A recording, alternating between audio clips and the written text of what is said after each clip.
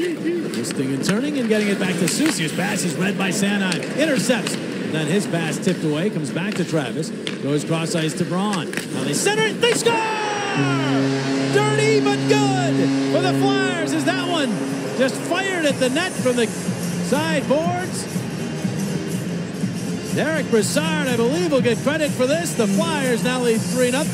Brassard is on the board as a Flyer.